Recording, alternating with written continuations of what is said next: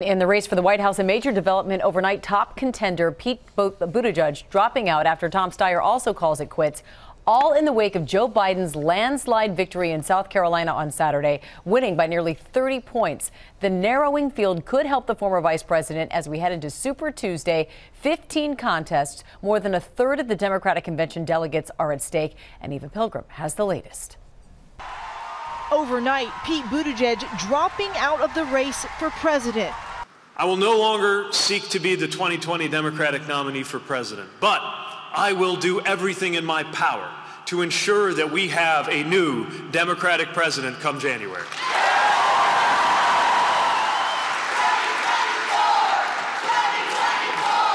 Buttigieg's decision coming after his fourth place finish in South Carolina over the weekend.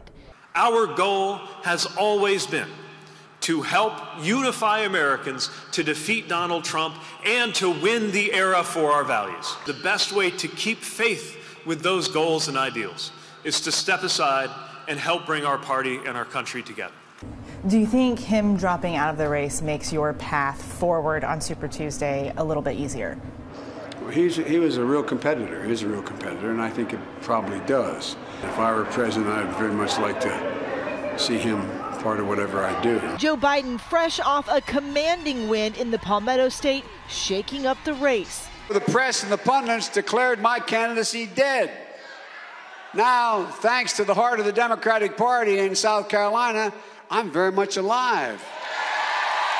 The former vice president saying he is taking nothing for granted, now turning his attention to Super Tuesday, less than 24 hours away.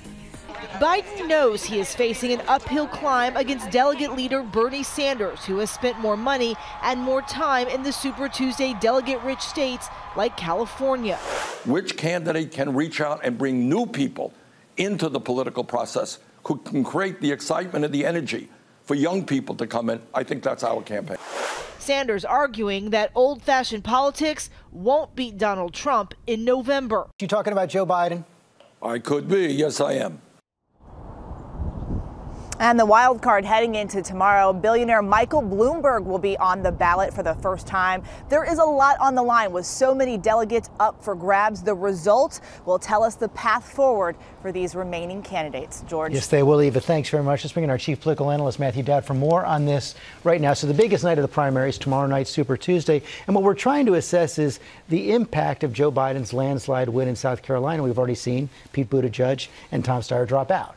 Yeah, I think if you watch the first 10 minutes of the show this morning, I think the watchword is volatility and unpredictability in our economy, what's happening in the global crisis, the unpredictability of the White House. And we're in unpredictable time in our politics right now.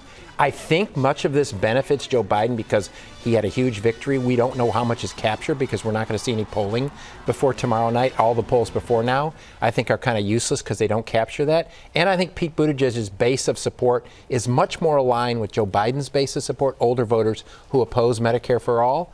But we have no idea what's going to happen. And it comes up against Bernie Sanders, who raised a ton of money in February, $46.5 million, is the biggest organization across the country and is leading in polls in most of the Super Tuesday states. Yeah, he has the advantage in this. He has more delegates now, he has a greater degree of money, and he has, he has more leads in more states.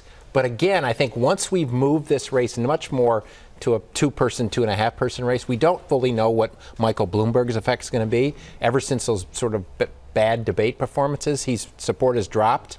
I don't think that's been completely captured in the states. One thing we can say for certain the chances of the Democrats not having a nominee before the convention are going up. It's rising. Unless after Super Tuesday, a series of candidates, a bunch of candidates drop out and we're only left with two. But if that stays the same, yes, it's likely that we're going to go into a convention without a nominee. Matthew Dowd, thanks very much. We're going to have special coverage of Super Tuesday all night long. I'll be anchoring, joined by our political team starting at 8 Eastern. Hi, everyone. George Stephanopoulos here. Thanks for checking out the ABC News YouTube channel. If you'd like to get more videos, show highlights, and watch live event coverage, click on the right over here to subscribe to our channel. And don't forget to download the ABC News app for breaking news alerts. Thanks for watching.